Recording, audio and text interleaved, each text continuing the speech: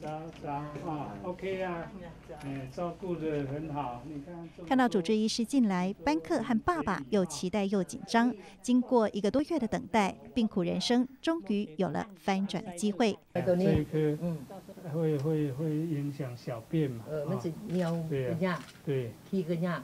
这一颗啊，所以我们要把他的血管啊，血管塞住哈。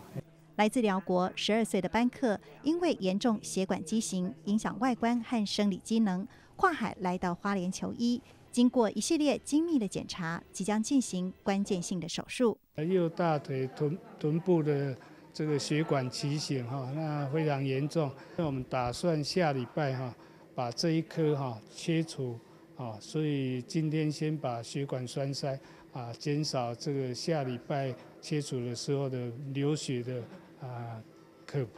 หมอเพิ่นบอกแล้วว่านี่ว่าบ่นั่นบ่ให้ญาตินะเฮาพอลูกก็เลยบ่ได้ญาติลูกสาวก็บ่ได้ญาติเนาะเออถือว่าลูกสาวก็ถือว่าบ่ญาตินะ班克从住院以来，医疗团队和志工不间断的关怀和陪伴，安抚了他不安的心，期待手术的结果能还给他亮丽的人生。